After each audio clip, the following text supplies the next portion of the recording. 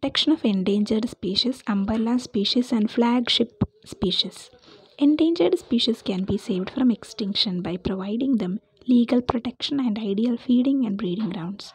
Their habitats have to be suitably modified and effectively managed to improve the conditions they need, maintaining a normal functioning of the ecosystems undisturbed. This kind of protection is called single species management. Protection of large animals which require extensive areas to support their population involves the simultaneous protection of several small non target species also. Such large and land demanding species whose protection provides an umbrella of protection for other species also are called umbrella species. That is what is meant by umbrella species. Sometimes the target specimens of species may be the most favored member of a megafauna and the benefits of protection may be shared by other less favored species also. Such favored species who are used as a vehicle to protect a suite of other less favored species are called flagship species. What is flagship species? Sometimes the target species may be the most favored member of a megafauna and the benefits of protection may be shared by other less favored species also.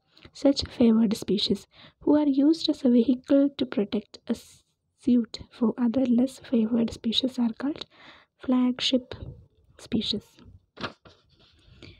So, what is flagship species in detail?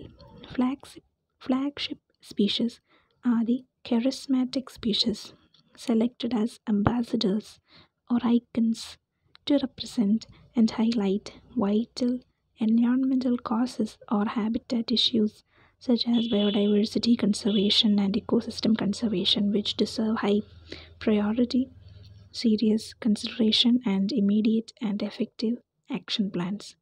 They are chosen to commend the large scale support and acknowledgement of the public mainly because of their vulnerability, attractiveness, or distinctiveness. Thus, the concept of flagship species holds that the wide publicity given to a key species but will leverage not only its own protection and conservation but also the conservation of an entire ecosystem and all the species it contains.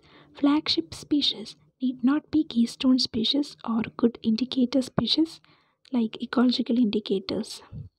Examples of flagship species include Asiatic lion, Bengal tiger, and giant panda of China, and the African elephant and the mountain gorilla of Central Africa, the orangutan of Southeast Asia, and the golden lion or tamarin of the Atlantic coastal forests of Brazil, and the leatherback sea turtle, etc.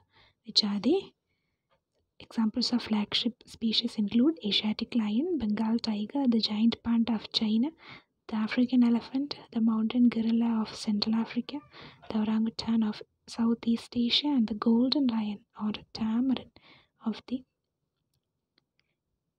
Atlantic coastal forest of Brazil, the leatherback sea turtle.